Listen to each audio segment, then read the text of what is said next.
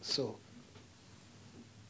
I don't know if I've answered your questions, Rebecca. Somehow. We are still trying. We've not got to where we are going, but we keep trying. You see, a, a journey of a thousand miles, the Chinese say, starts with one step. But we added something in Nigeria to reach. You know what we added? You'd like to know? That a journey of 1,000 miles starts with a step, but we added it must be in the right direction. Um, I was over the summer. I was reading a book called "When a Crocodile Eats the Sun," and it's about Mugabe in Zimbabwe. And I was just wondering what, if if Nigeria had any opinion or policies towards his regime, and with respect to the AU, if they had any policies towards it as well. You have had you. I think Catherine, eh? Hmm? Catherine is your name. Kathleen. Catherine.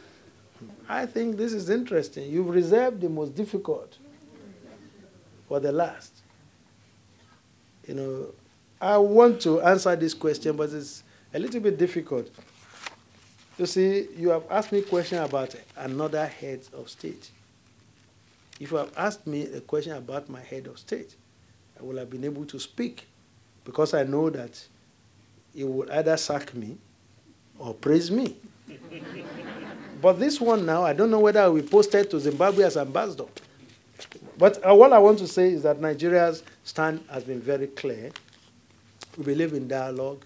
He who lives in glass house must not throw stones. You know, some uh, sociologists, ethnologists, specialists in uh, anthropology believe that there are about 240 ethnic groups in Nigeria. But personally, as a linguist, I think we are not more than 22. Even for that, that's quite a number. We believe in dialogue. We believe in democracy. We have chosen it, and we're following it.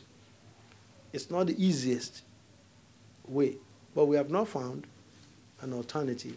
Having lived under military regimes from 1966 when the first military coup occurred in Nigeria, I remember I was going to school that day, and we had to turn back elementary school.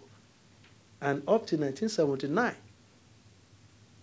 I don't know how many years, we have tasted that democracy, it's easy, it's easier. At least people can hear you. We can have our say. The rulers can still have their way, but we will have our say.